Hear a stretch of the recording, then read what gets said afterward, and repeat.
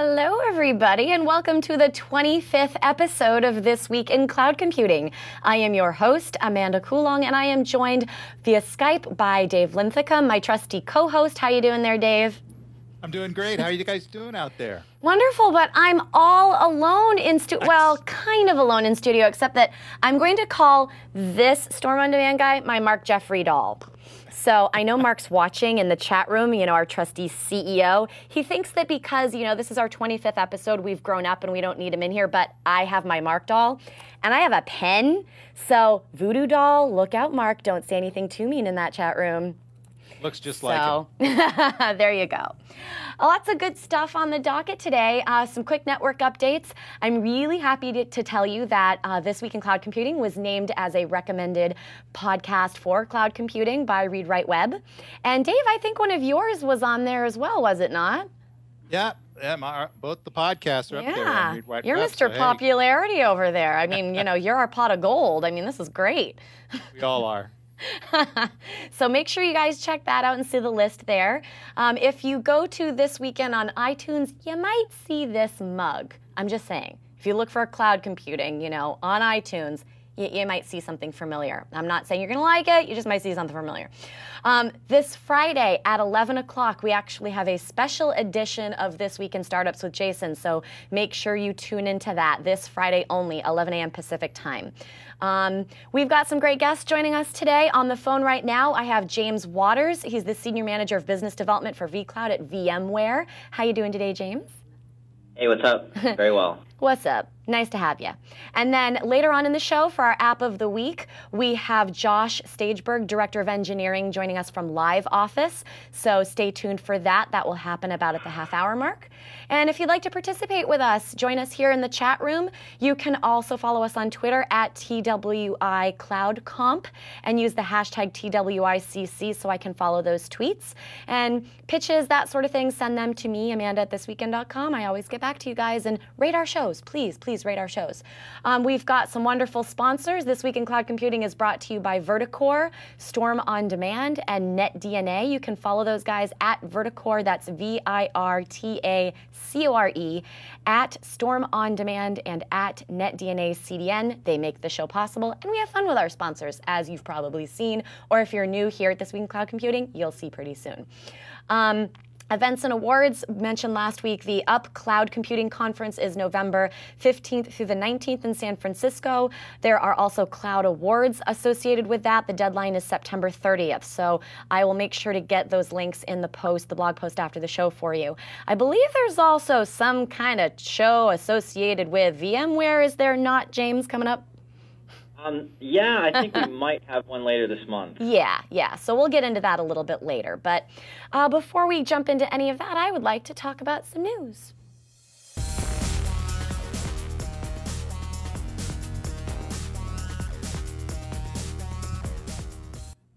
All right, top of the hour. We've got well, not top of the hour actually, because we're 3:30. Uh, we've got Box.net talking about updating their iPhone and iPad apps to sync files for offline access. Now, this seems like a pretty straightforward story, but it's something I actually think about a lot with the cloud in terms of, you know, it's, it's great that we can have everything in the cloud and access everything in the cloud, but especially a lot of you iPhone people, you complain about AT&T's service and the edge network and not being able to get access. And what happens if you've got that mission critical thing that you're trying to get access to and and you can't. So Box.net, at least on their side, is syncing things up so that you can actually have certain information on your phone or on your iPad um, so that you can have offline access to it. I just think this is a no-brainer, but um, is this something we'll start seeing more with cloud apps? Dave? Yeah, I think what they're doing basically is providing the ability to have storage on your device so you can carry with you on airplanes and places where there's no connectivity.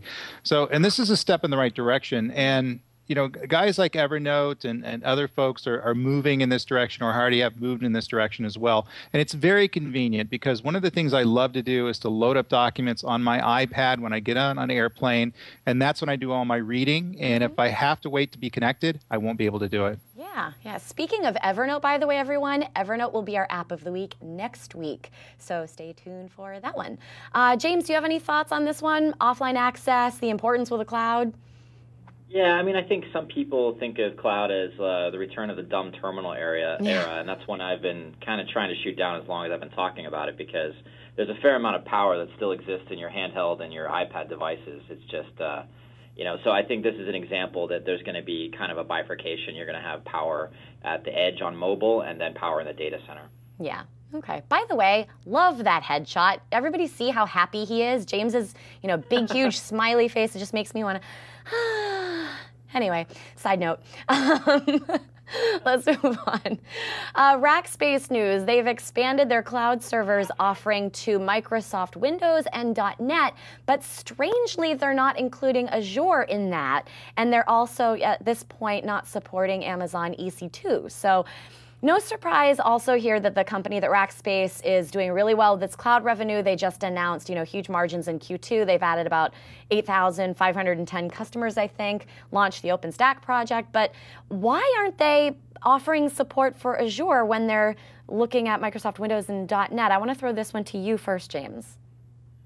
Uh, you know, it's uh, that's a that's a tough call. I think Yeah. uh, you know, I think Azure has had an interesting ramp in the market, Mm-hmm. and uh, I'm not, you know, we got it. I got an I was an Azure demo user, and I got an interesting email from their product manager saying, "Hey, can you tell us why you left and why you're Right. not using us more?" And it was kind of a form email, and I think I think Azure is still sort of finding its place in the market. You know, hats off to Microsoft for making a huge bet, huge investment there. Yeah. Um, I'm not sure that there's a ton of room for you know sort of ancillary service providers to even compete with them. They've sort of said we're going to spend a billion dollars in data centers. So what's the motivation for a service provider to say, hey, we'll go head to head with someone who's got that cost of capital? True, true. Really good point. Dave, what are your opinion? What's your opinion on this one? I agree. I agree. Um, ultimately, Microsoft, Azure is Microsoft's play. I don't think it's going to make sense for Rackspace to offer Azure. Uh, EC2, um, those sorts of services, those are those are already part of Rackspace. I think Rackspace would cons- consider themselves a competitor to Amazon and that sort of thing. I think it's Yeah. a step in the right direction because people, you know, like to use LAMP stacks and part of the cloud stack, but there's a lot of Microsoft users out there. They provide an on-demand Microsoft stack out of their cloud, and, and that's a good evolutionary move for them. Fair point. And what do you think, Mark? What was that? You're, you're, you're not on the show? What? Oh, so sad. Oh, he has no voice anymore. Hmm. there he goes. Um, Akamai and Brightcove have partnered on a bundled internet service um, to offer HD video in the cloud. Um, quite a, to me, this is quite a testament to you know just the overall adoption of online video and high def video online specifically.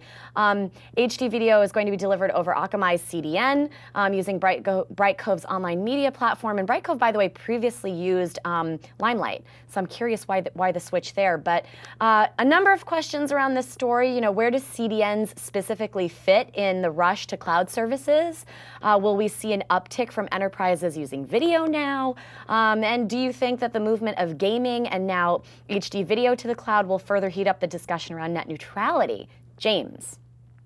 Yeah, that's that's a really interesting topic because Yeah. when you think about the power of cloud computing in terms of infrastructure as a service, it's not always to deliver static content or a Right. static file like a video is. I mean, Akamai's been around since '98. You know, they've been a hot company for a long time back Yeah. then for delivering static content. I think the interesting thing about cloud really is the ability to deliver dynamic, um, analytic, or complex content on demand in a compute intensive way versus just a, a basic resource intensive way. So, Okay. you know, I think it's it's really great to see that we're moving to an on demand model for all of media, but I think the interesting and complex part of the computing equation continues to be in the dynamic content. Hmm. Yeah. No, I, I would agree with you on that one. But wouldn't CDNs be really good for that? I think CDNs are great for static content, and the power behind a CDN is the algorithm that populates the different nodes with that same static content across Right. 16,000 different pops. Yeah. Um, they're not really good if you throw a Hadoop job at them. So True. Uh, don't try that in Akamai. Very good one. And what do you think on the, about this one, Dave?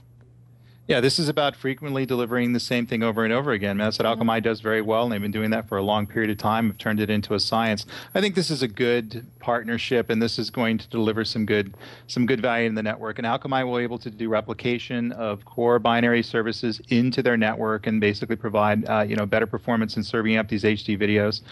Um, but yeah, as far as the big moves goes, eh, I, I, I don't view this as as uh, that big of a deal right now.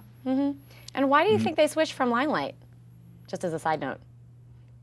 Uh, I'm not sure why they switched from Limelight. I think that ultimately, you know, this is about providing the video content, uh, the uh, content management system around the video stuff to, Right. you know, that's most popular in Bright, and uh, and they're there. Brightcove, Bright Cove has a has the audience. True, true. Fair enough. Um, we've got another one on here. Let's see. Where is our Dave article? Did you get rid of our Dave article? No, here it is. Have to call out the Dave article. It's just, it's just fair. Um, you say, Dave, why you say why you're not ready to create a private cloud. Um, you, you agree with Forrester Research's James Staten, who is saying that most IT pros that are hot on cloud computing think that they can simply create an internal private cloud. But the problem is, and I'll quote James Staten here, he says, cloud solutions aren't a thing, they're a how. And most enterprise I&O shops lack the experience and maturity to manage such an environment. So Dave, why do you agree with him? Because we've said for a long time, and I've said for a long time, that private cloud computing and cloud computing in general is something you do, it's not something you buy. Mm-hmm. And I think a lot of these enterprises and government agencies are, are driving quickly into these private cloud environments without any kind of architectural forethought and how you configure and deploy these things. And ultimately, I think they're going to fail a lot of the times. They don't in essence understand what a private cloud is, how to architect it, how to implement it, and they're doing traditional IT and they're doing some hybrid of traditional IT. They're calling it a cloud. It's not having the value.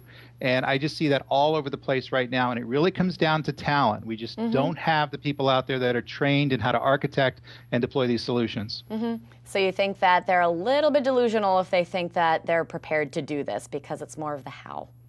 They're very delusional right now. And, and I, I talk to delusional people all the time. And unfortunately, that's like any kind of an overhyped space. Stop talking You're about me have- that way, Dave. You're going to have a lot of people who are, who are going to overestimate and underachieve on this kind of stuff. And I think Right. that's what's happening right now. Right. James, what are your thoughts on this one? Do you think that, you know, IT folks are, are ready to do this internally, or, or do you agree with Dave and with James Staten? Those are two pretty big names that are saying, nope, can't do this, not ready to do a private cloud. Uh, you know, I'm a software guy, so I'm going to say that what really matters is the maturity of the software stack. And I've, I've said for a long time that what makes cloud interesting eventually is that it can just become software. So while it may Sure. not be the case that today you can just have Amazon in-house in 10 days, I, I wouldn't suggest that people can do that. Yeah. As you know, portable software stacks continue to evolve and do more and more of the work and handle more and more of the complexity, you know, I, I think that over time it becomes more achievable. And I mm-hmm. think that it's going to put pricing pressure and execution pressure actually on public cloud providers when you have True. very large private enterprises that can do their own. Mm-hmm. And uh, I've actually, you know, I actually talked about talked to you this back channel, you know, just rumor mill, a very very large public commodity cloud computing client. I hear just bought a tremendous amount of hardware internally. Hmm. So you know, I, I, thought we weren't going to talk about that. Say that I don't think it's the case that somehow there's a magic sauce that just because it's a public service that no one can compete with it. When you get to a Yeah. certain scale, you can't compete with it. What David's right about though is if you have a, a lethargic, uh, low execution organization, um, calling something cloud doesn't help you. True. Really good point. That gets into our whole discussion we always have here about cloud washing, too. Um, that's actually a good one, too. James, what are your thoughts on cloud washing? Do you, do you feel like a lot of companies are using cloud washing just to say, oh, we have a cloud product? Yeah, I, first thing I always ask them is, okay, great, what's your cloud API for your cloud product? and uh, when they go, oh, well, we don't really have a cloud API, I'm like, well, what do you have? Yeah. Like, oh, we have this scalable thing. And I said, okay, that's cool. Good luck. Mm-hmm. Um, If you, I mean, cloud is cloud is about APIs. It's about ecosystems. I mean, uh, the vCloud API. I spend a lot of time thinking about that. Right. Um, dealing with ISVs, integrating into that. So if you're not out there building an ecosystem of integration points and programmatic control, um, then I believe you are cloud washing. Hmm. There we go. We'll have to make sure that we throw your definition of cloud washing up on the blog. Moving right along, uh, speaking of blogging, uh, George Reese on a blog on O'Reilly outlines the fact that private clouds have much the same security issues as public clouds in some cases. Um, the fact that private clouds exist on premises could on premise could be leading many into a false sense of security, that big false sense of security. So, are those that implement private clouds over public clouds due to security concerns fooling themselves in some instances? Dave. They certainly are. And he's absolutely right. I mean, ultimately, mm-hmm. everybody wants to use, they, they, love the idea of cloud computing. They just don't like the idea of putting on a public cloud. So they choose private clouds and right. then they implement private clouds because they think they're getting better security. The reality mm-hmm. is, is mm-hmm. that security models around private cloud computing and security models around public cloud computing are really a factor of the architect and the technology that goes into implementing it. And I see a lot of private clouds that are very unsecure, probably a lot more unsecure than public cloud offering, and that seems to be the trend these days. Yeah. And uh, you know, kudos to George for pointing it out. Mm-hmm. Mm-hmm. Um, what do you do? You agree with this one too, James? You know, I think you know if you remember the way I look at the world is it's about having a portable software stack that you can implement right. publicly or privately. Mm-hmm. It's, it's more about do you have the option to negotiate with your public provider. So I think part True. of people's problem with the public cloud security is, is that it's a take it or leave it offer. Yeah. And uh, I think when they look at private cloud, they say, hey, we, we no longer have that take it or leave it. I think David's right that you know public cloud providers can get to a scale of security you know expertise that mm-hmm. some small companies can't match, mm-hmm. and there's virtue to that. At the same time, it's nice to be able to have a private cloud sometimes and be able to dictate the exact terms you want if necessary. Right. And I'd say in the future, you have the opportunity to go to any service provider you want if that stack's portable and get them to execute it for you. Mm-hmm. So I think that you know, we're kind of in a barbell situation now, and I think as more software comes to market, you'll have more choice. Yeah, no, I would agree. Right. Um, and it also gets down to, you know, one thing we've talked about here on the show before is like the bit of customization too, the issues that, that are around that, and also looking what the Cloud Security Alliance is up to. So we're going to keep our eyes and ears open for that. Well, without further ado, I'm starting to feel kind of weird, like I'm being thrown back in time or something. And what? Shield Maiden. Yes. Ragnarok is upon us once again. Who's that? Oh, never mind. Just go with it. Okay. Storm! Storm on demand! Storm on demand! Storm on demand is an infrastructure as a service, more cloud computing platform that is powerful enough, powerful enough to replace dedicated servers. A proprietary cloud platform designed by Liquid Web, one of the largest web hosting providers with over 12 years of experience. It is easier to use and less expensive than Amazon EC2. Features include server setup in minutes, easy scaling, backup and restoration capabilities, and pay-as-you-go utility-style billing. Options include cPanel, Fantastico, Ubuntu, Debian, CentOS, fully managed servers, private networking, and swords like this, and little guys that we do not have in this commercial, but it doesn't matter, because this is cooler. Storm On Demand can be found at stormondemand.com, at Storm On Demand. Ragnarok be damned. Storm on demand. If you do not get Storm on demand, I will come to your house with my sword and make you get it. What? Oh, sorry. M Mark has a stomach ache. So, sorry, sorry. Put, put you down there. All right, let's get into a discussion now with James. Again, we have James Watters for those of you that are just joining us. He's the Senior Manager of Business Development for vCloud at VMware. Um, and let's get, you know, this is again This Week in Cloud Computing. So if you're just now joining us. Um, James, you've also done a lot of stuff um, in the Bay Area, a, community group around the, around the cloud as well, a cloud club, so to speak. Um, and you've also, what? Yeah, I have. Yeah, I used to do that, yeah. Um, and you've also done some stuff in with the open source space as well. I just wanted to throw that out there. I know you from a previous life. So um, yeah. I want to start off with a discussion around what the cloud is not. Um, you know, everyone that I get on the show seems to have a specific opinion about this. You kind of mentioned your definition of cloud washing. Um, does virtualization equal cloud computing? That's the biggest one, given that, you know, we're looking here at VMware.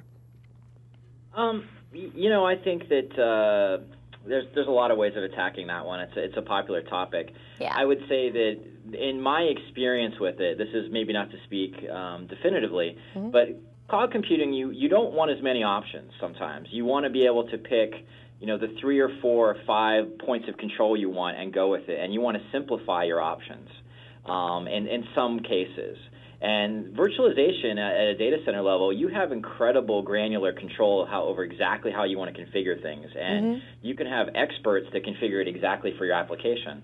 And right. I think inherent in the bargain of cloud computing is that you've, you've somewhat standardized and industrialized those component inputs. Mm-hmm. Um, and so when people try to pit those two against each other, it's not that they're one is necessary or sufficient. It's it's more that in cloud you're doing a bit of a simplification so that you can programmatically request things um, directly and efficiently without having to specify uh, too much of the exact um, right. exact configuration. Yeah. Does that make sense? Yeah, no, I think so. Dave, Dave, do you um, have any points specifically to this one? Yeah, I think it's. I, I, think I agree. I mean, it's it's ultimately it's about the dynamic allocation of resources in a shareable way, and it, that's really kind of the essence of cloud computing: the ability to provision. Right resources as you need to provision resources to support whatever kind of application you're looking to do. Mm-hmm. So the notion of cloud computing as being just virtualization, I really don't agree with that, and I don't think that's what we're saying here. Ultimately, it's about multi-tenancy, it's about auto provisioning, it's about use-based accounting, it's about you know identity management-based security, it's about it's about granular governance, it's about all these things which really make this a durable platform. Mm-hmm. I would agree. I want to jump back for a second to the notion of security. Um, you know, we just talked about it within the private cloud versus public, but a lot of people used to use security specifically as their reason for not going to the cloud at all. Is there any valid excuse anymore for not going to the cloud? You know, if, if it makes sense for your business. Let's leave it at, you know, at that. Why don't you, James? I, I think there's overwhelming reasons that people don't put everything that they have in the cloud, mm-hmm. and uh, you know, it's, it's my yeah. job to build public cloud here, and I'm a big fan of public cloud. It's my yeah. living, it's my business. But I'll be the first to tell you that at certain scale, it just doesn't make sense yet. Right. And if you looked at, you know, uh, and in certain security controls, it doesn't make sense. Mm-hmm. So I, I think that there's there's a lot of reasons to think that cloud has a very bright future. But uh, as an overall IT spending percentage, I know Chris Hofbeker, uh, very mm-hmm. eloquent about this. He's been that, on the show know, before. It's still mice nuts. Yeah. And so let's give it lots of credit for the, the future it has and uh, mm-hmm. um, where it's headed. But I think that the overall the overall market hasn't swung to it yet. I think the market's right. very curious about it. So I would never say that there's cases where you don't have a reason to, to not go to cloud. I think mm-hmm. it's actually, actually it's more interesting to look at people who are finding ways of where they can use what is available today to, to, to augment their business. Mm-hmm. Mm-hmm. No, I definitely agree with you on that one. Um, in your experience then at VMware, um, what what are the instances that make the most sense for going to a public cloud? Sure. I mean, I think that the the most exciting thing for um, companies is when they're doing anything that's dynamic mm-hmm. and is not sort of long-term installation of an application that's persistent. Okay. So I think cloud has yet to prove itself as the place to put long-lived, persistent, permanent things. Mm-hmm. I think that'll come, but I don't think that it's you know 100% there yet. Okay. And uh, you know, I think therefore, you know, dev test is a classic one. I mean, IBM yeah. released a study that 50% of some server, some company's server capacity is just for developing and testing new applications versus hosting them permanently. Mm-hmm. That, that's a huge one and one that's been talked about. But I'm starting to see like RFPs and POs for large-scale outsourcing of that environment. Mm-hmm. That's going to mean real money, and it's not going to be onesie twosie developers. It's going right. to be enterprises with 4,000 systems. Mm-hmm. In terms of the enterprise play, you've got a lot of people that are jumping into that. Um, where where do you see the the the the biggest people taking off? Like, where, where, do you see the front runner coming out? Is, is there something that's going to cause that, or who, who do you see as, as the front runner right now?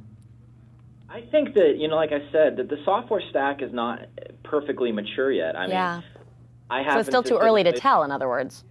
Yeah, I think yeah. that there's interesting things coming, and I think mm. that people who forget that cloud's going to be an evolving feature set in terms of software are, mm-hmm. are overlooking it. Yes, it's about simplification, but it's also yeah. about what else you can offer. So right. I'd say that the enterprise cloud story is really going to start to take shape in 2011 as more offerings come to market. Okay. All right. And uh, I think that's going to be pretty disruptive to the current thinking. Mm-hmm. And I think we'll look back on 2010 and be like, oh, wow, we didn't see that coming. Yeah, exactly. Dave, what are your thoughts on this one, too, in terms of just the enterprise play overall? Do you, do you agree with the same time frame, roughly, in terms of when it's going to take off? Yeah, I do. I do. I think mm. 2011. I've always stated that as being the inflection point for this technology, yeah. and I think and I stick to that. I think the reality is is that people are going to see the value and how this stuff works and they're going to get some use cases and get some core um, and core applications that are right for cloud computing. I mean, James made a great point earlier. Is ultimately there's lots of things that belong in the cloud and lots of things that don't belong in the cloud. We're going to figure out what belongs in the cloud by 2011, by the end of next yeah. year. Yeah. Yeah. Okay. Uh, and, and, and, Amanda, don't forget, uh, just a, a, quick point, sure. that don't forget, sometimes these enterprises who are buying like data center space today mm-hmm. are doing so with 300 page RFPs. True. And I think sometimes when you you say, oh well, it's just all going to come down to this vanilla commodity. Yeah. Uh, and they're going to give up that 300 pages and all people that have jobs specifying that. It's going to be an evolution. Yeah, no, I definitely agree. It's definitely a process, and we've seen that even here on the show just since we've started. You know, the, we're in episode 25 now of this week in cloud computing, and we've seen a lot of things just change since since we've been around. So. Um, not everyone knows about your open source background. I want to throw that out there just a little bit. So, what are your thoughts on Rackspace's move in the open source space specifically with the cloud? Sure. So my open source background was working at Sun Microsystems and doing Yep. part of the OpenSolaris project there, just to put that out there. Right.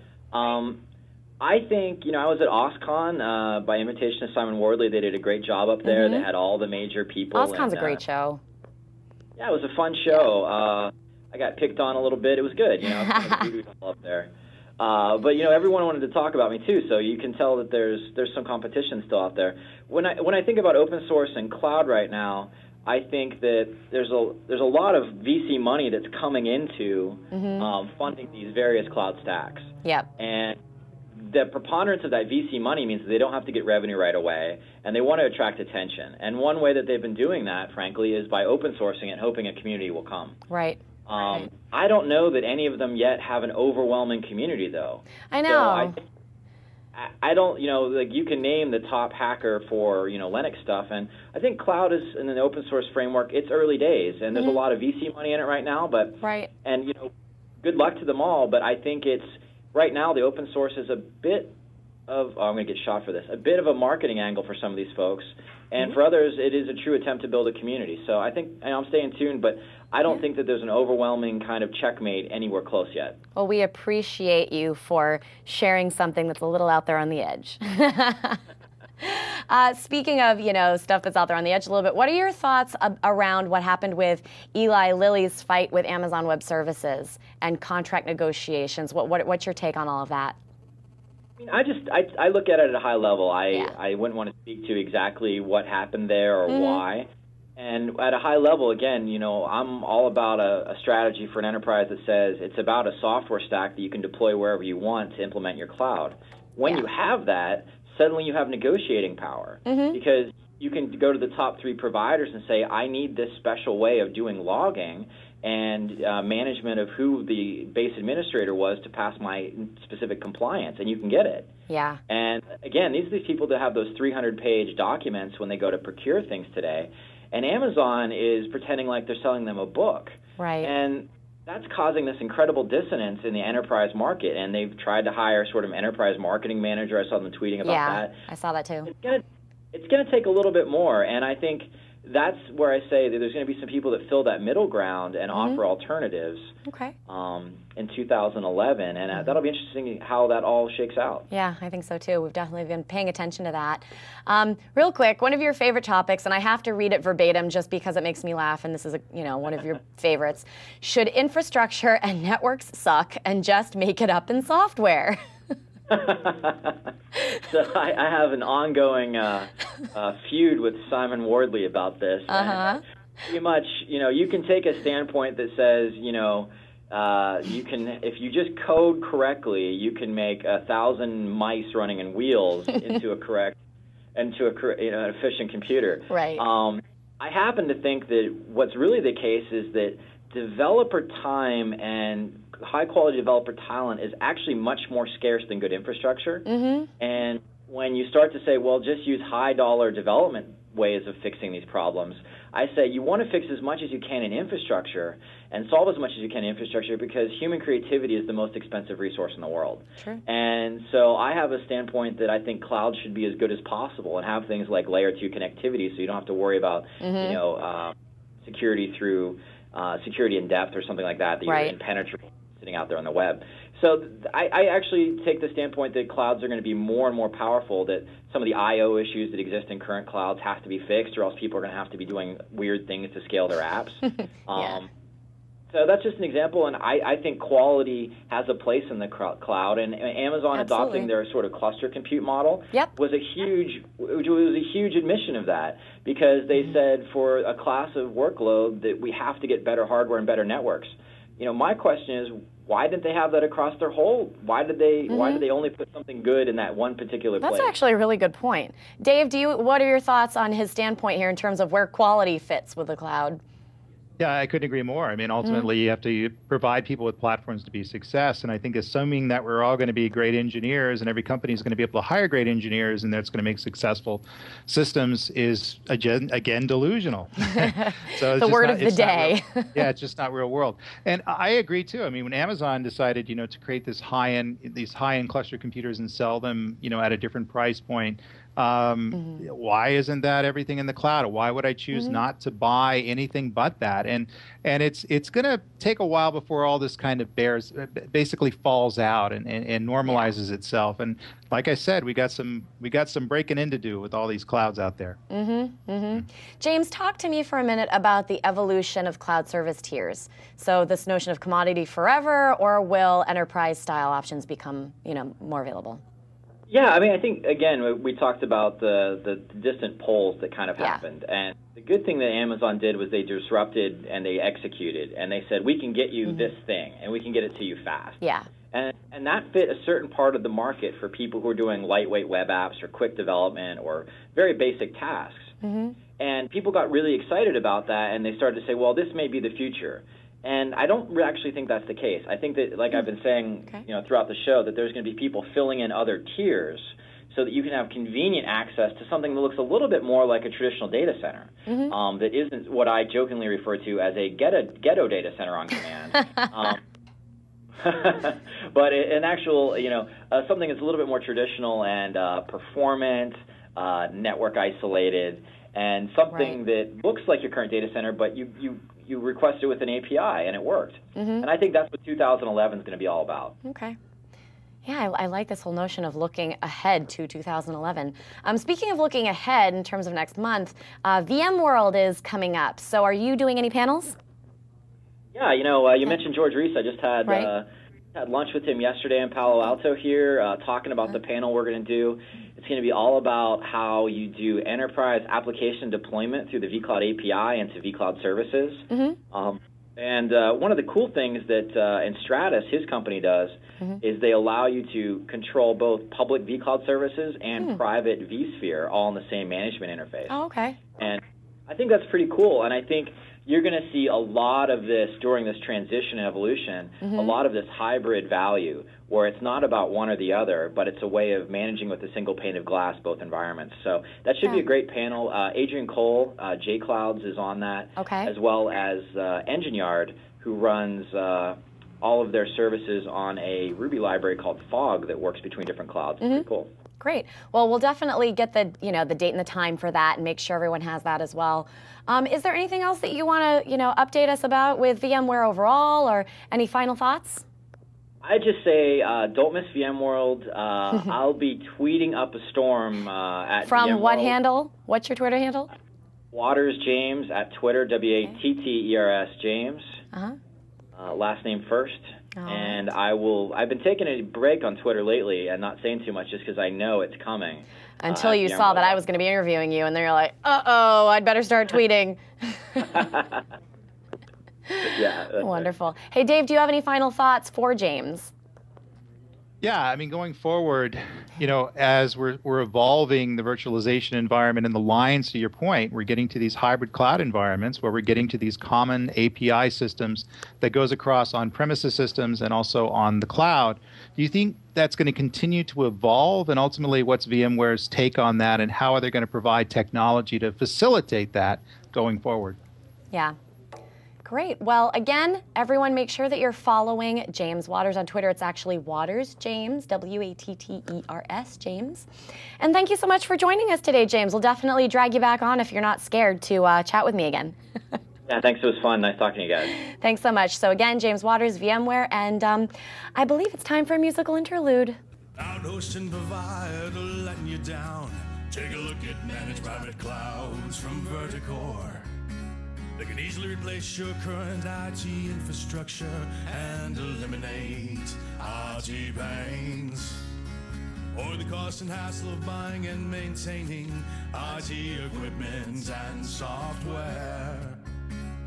Deliver 100% uptime to end users Configure and deploy resources in minutes. With Virtacore, oh you should be using Virtacore. Virtacore, oh you should be using Virtacore. Virtacore, your private cloud is hosted in an advanced and secure data center. It uses only best in class hardware and software and gives you access to scalable bandwidth. Virtacore's team of experts monitor and maintain your private cloud 24 by 7 by 365. Virtacore, oh Virtacore, you should be using Virtacore. Virtacore, oh Virtacore, you should be using Virtacore. Thank you. Thank you very much. See, we still have Mark here in spirit, so that's the important thing. Right, everybody? Right, Dave? Were you singing, Dave? I know that we didn't have a camera on you, but were you singing? I, I was singing along. I had my hat on and everything. Excellent. Well, I have I have joining us Josh Stageberg, Director of Engineering from LiveOffice. Can you hear us? Yep. Great. Hello. I believe we have to jump into our app of the week.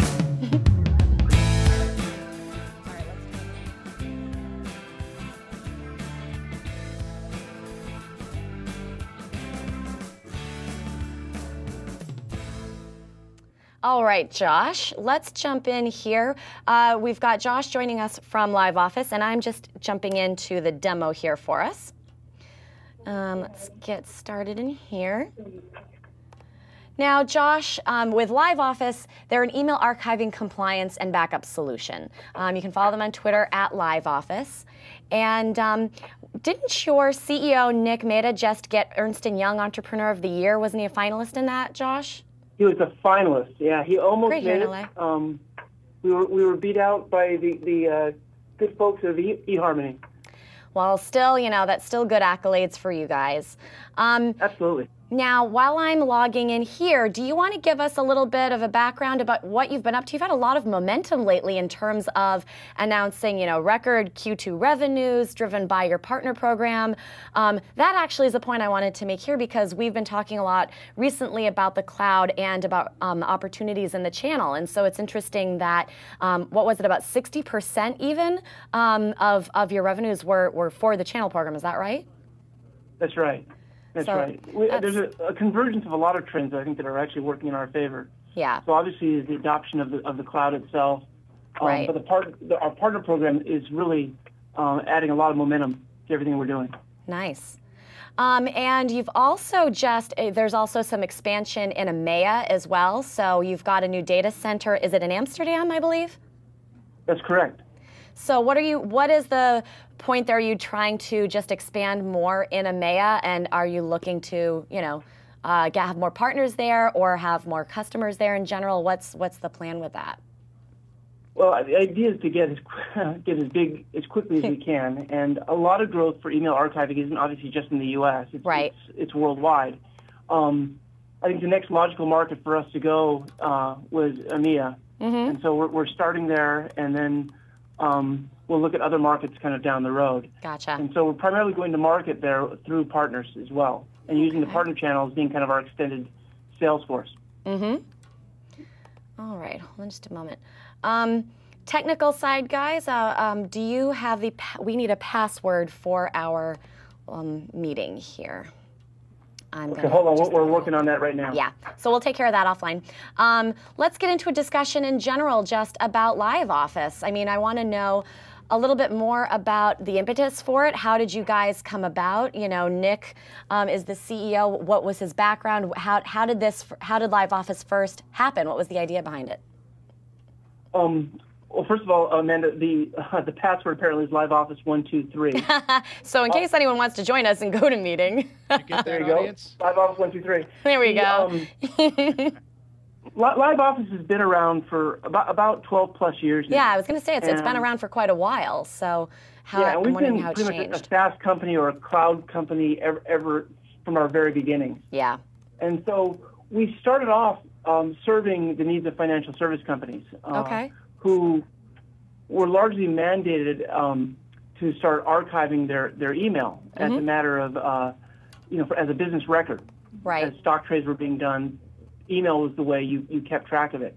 Yeah. Um, and so we had on our on our side uh, regulatory compliance and the emergence of, of FINRA and other regulations that really mandated that, that financial services companies start archiving all of their, their email. Mm-hmm.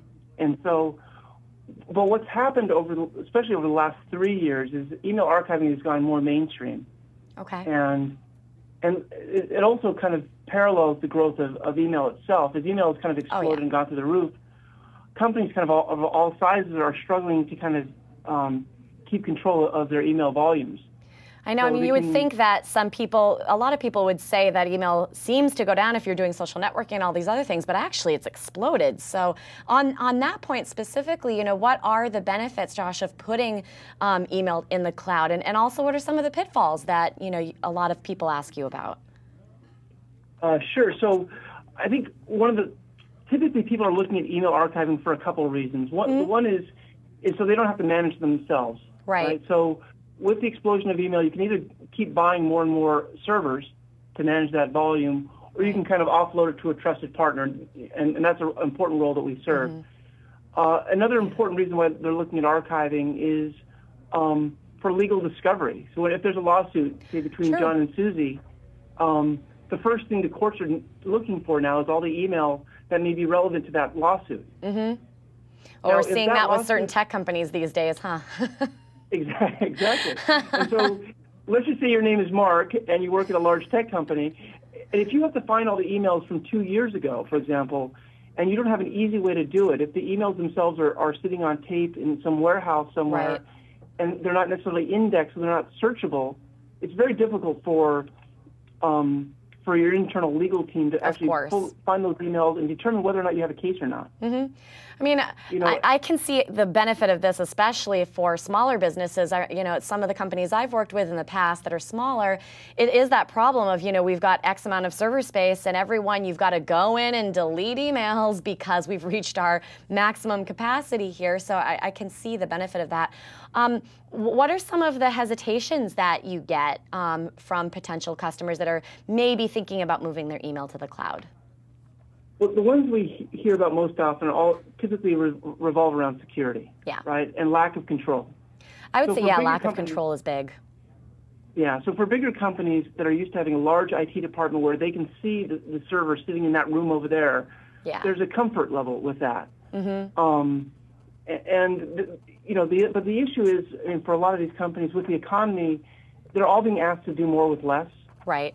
And so it just makes a lot more sense to offload that. Now, the other thing is, is that uh, over the last few years, the cloud providers um, have really beefed up the security on, on the back end and the procedures and the protocols. And so in many cases, I mean, we- we're talking about a multi-million dollar enterprise-grade infrastructure with redundancy and disaster recovery built in. We have we have that, and most companies, frankly, it would take them a long time to build that kind of infrastructure in place Right. if they were trying to do that on premise. Yeah. Well, since we've got, oh, do we have? All right, I was going to say let's jump into the demo, but I'm going to have to reload that again. Um, while while we're doing that, um, talk a little bit about some of the different migration strategies that you've seen work, um, because I'm sure there are a few different ones. Are, are there some that you recommend the most? Does it depend on the company and what their needs are, and does it depend on you know their legacy mailbox data? Like what what are some of those migration strategies? Oh, it's a great question. So, what we find is that companies are either have their email sitting on the exchange, right, or they're moving their email to a cloud-based um, platform like um, Exchange Online, for example. Right. So, it really doesn't matter where your email is kept or what platform you're on. We can archive your email securely um, from either place. Now, what we typically do as part of the implementation process is we start journaling right away. And journaling is the process that's kind of built with an exchange that essentially securely sends a copy of every email sent or received, including the attachment, Right. copies it, indexes it, and stores it in our archive. And we can do that whether, again, whether you're on-premise server or you're using um, BPOS or Exchange Online. Yeah. And after we, we've, we've started journaling, so all your email is now flowing through and getting indexed, um, we then can ingest, we call ingest your legacy data. So all, if you have 3 Mm-hmm. years of email history, we can then index that into the archive. So that Oh, that's good. I know personally for me, you know, I've got so many emails that I'll still refer back to in an archive, and, and those legacy messages are the ones that I would be the most concerned about. Yeah, and from an end user, we haven't really talked about it. Yeah. Mm-hmm. And you talked a little bit about the mailbox quotas. And so most companies, in order to keep their exchange humming along, what they'll do is they, they will impose fairly stringent uh, mailbox quotas like one gig or 500 megs. Right. And what and the problem then is once you get to that maximum, Mm-hmm. right, you have to start deleting emails. Yeah. And they could be emails you don't want to delete. But you Exactly. don't have a choice because you have to. Oops, sorry. Mark. I have to delete that one. Exactly. Internal joke. Exactly. so the, the benefit we have with the archive is not just an archive sitting out there in the cloud. What we also do is we have um, Outlook integration, so that right within Outlook you can click on a folder. You know what? I'm going to jump in just for a second there, Josh, because I've got it pulled up on screen now. So if we jump to the studio laptop, we can start to show some of these things now. Great. Can you see my screen now? Um, I'm in Ashley's. It says viewing Ashley's screen. Okay, give us one second. Sure. and We'll hopefully.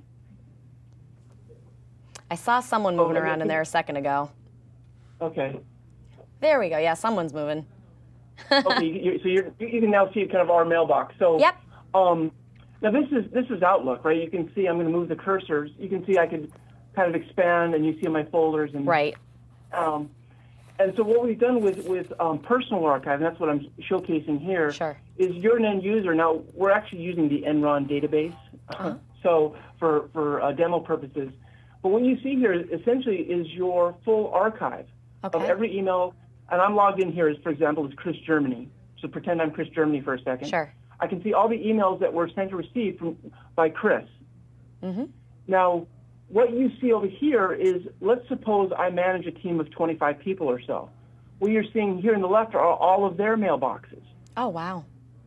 Okay, so I, as a manager, have the ability not only to see my own mailbox, but I can actually have visibility if the permissions are set appropriately to view the mailboxes of my own team. Okay. Okay, so let's dive in a little bit deeper. Um, if I were to do a search, I can just type in a word here, and it's going to search across all of my email. And if you've ever used the search in Outlook, you'll see that this is actually far superior because not only is it searching all your all your email, including all the legacy email, it's also searching across attachments. So, for example, if I typed in um, energy, it does a search, and I'm going to find all the emails related to energy. Let me log back in here. Mm-hmm.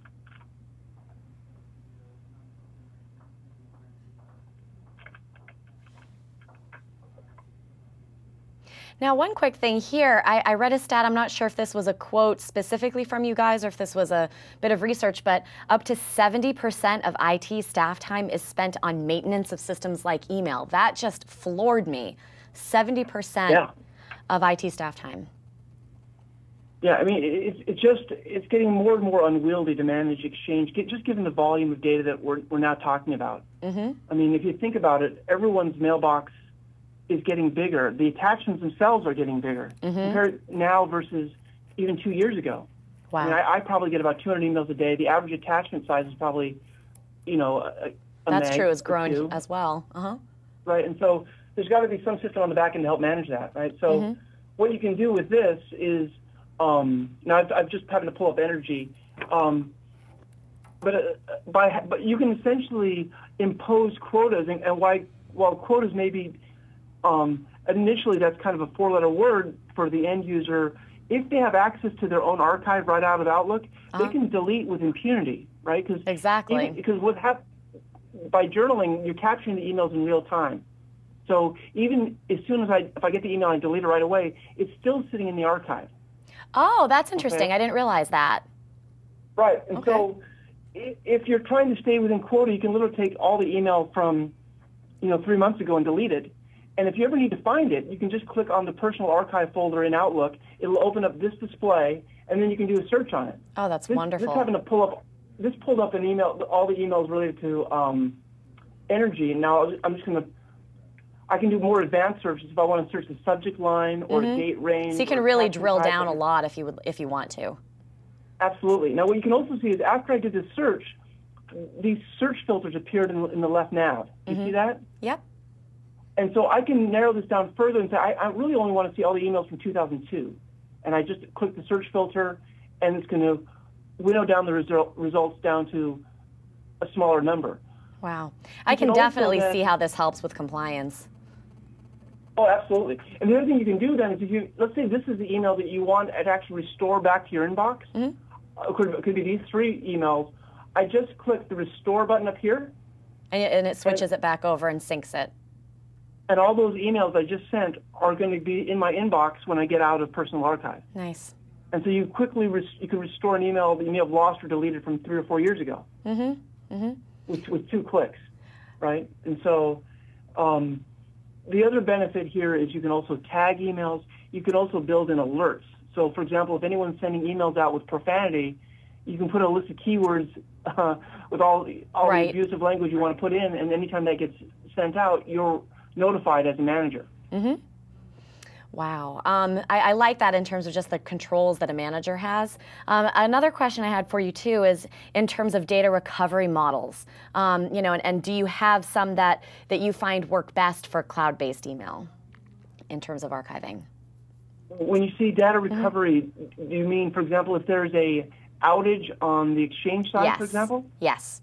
Yeah. So, what's it's interesting you ask that because we also have built within um, Personal Archive, we have email continuity. Okay. And so what the uh, Exchange administrator could do is essentially go to the archive, turn on continuity, mm-hmm. and what that does is effectively repoints the MX record, and that that mm. means that users now can access their archive and use that to send and receive email even when their primary email server is down. Wow. Okay, that makes me feel more feel more comfortable. Dave, do you have any thoughts specifically on what he's been showing us so far?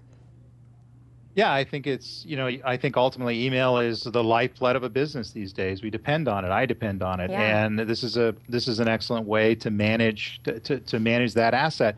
I, I, got a question for you. What is the elevator pitch in terms of the ROI that this kind of a product brings to a typical enterprise? Hmm.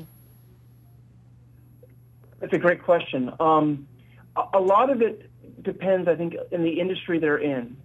And so um, we don't really have a hard and fast kind of ROI.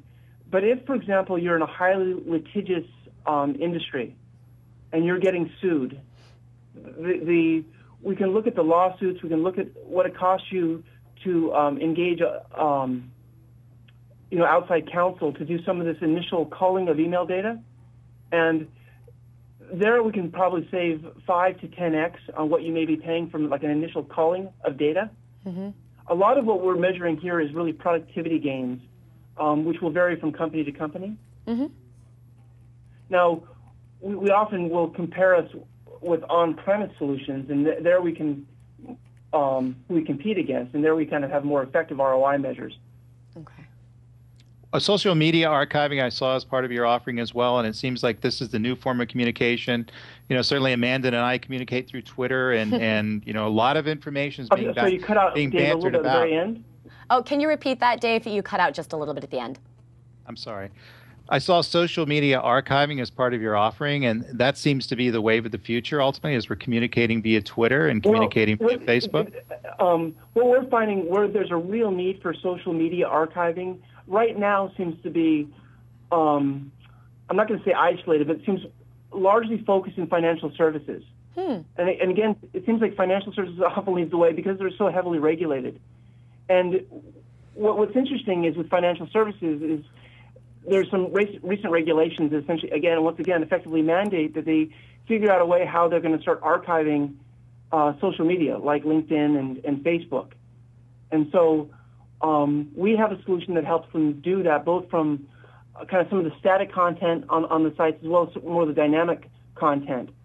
Now, I think social media is going to take off, and companies are going to look at figuring out a way to archive it, but mo- not so much from a um, a regulatory purpose, but more from a concern about data leak prevention, hmm. more from making sure that their intellectual property isn't being sent out via LinkedIn And so that any employee of a company, they want to make sure that they're following the rules and, and policies of a of an organization, which means you don't use LinkedIn or Facebook to share company information, right? And by archiving those communications, you can get a better handle on that.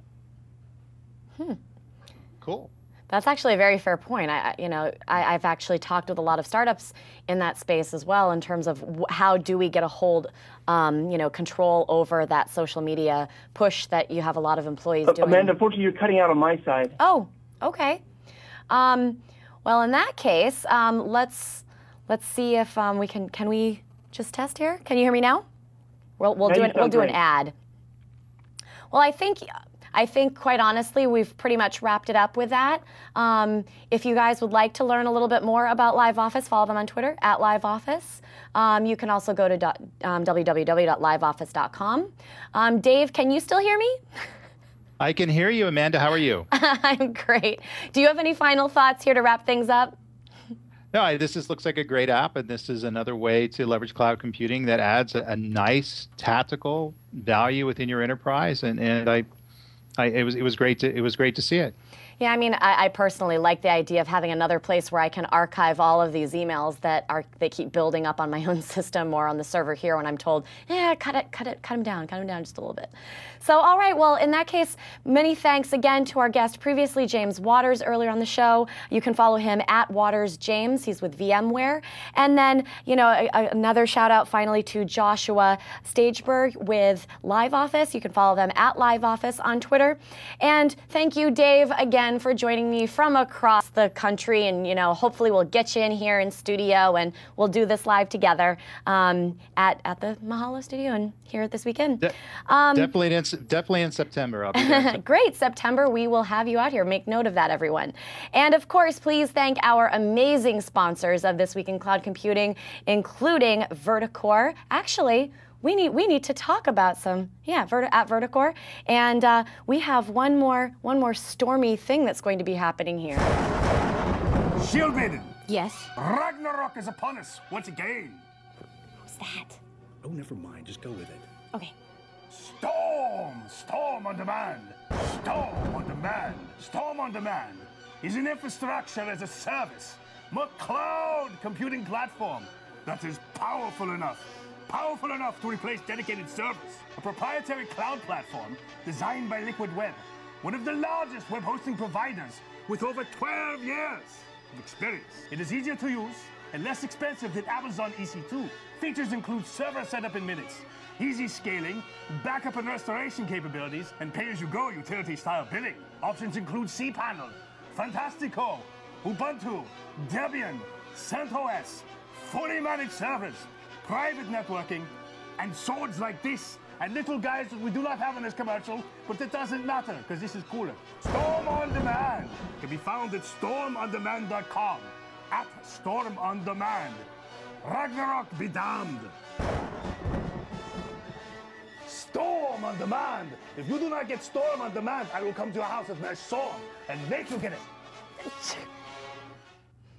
I love our little guys. Yes, this one's Mark, but Storm on Demand, I love them. At Storm on Demand, at Virtacore, and at NetDNA CDN. Please send a tweet out. Please thank our sponsors.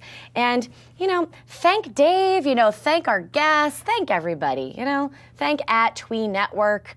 Um, but if you have pitches for our show, send them to pitch at thisweekin.com, Amanda at thisweekin.com. If you have conference codes, that sort of thing, please send those to us as well. Um, but be, get, be sure to join us again next week. We have Evernote for App of the Week, and I believe. Um, yeah, Evernote, and make sure you check that out. And next time, same same time, same cloud time, same cloud channel. I'm your host, Amanda Coolong, this week in cloud computing.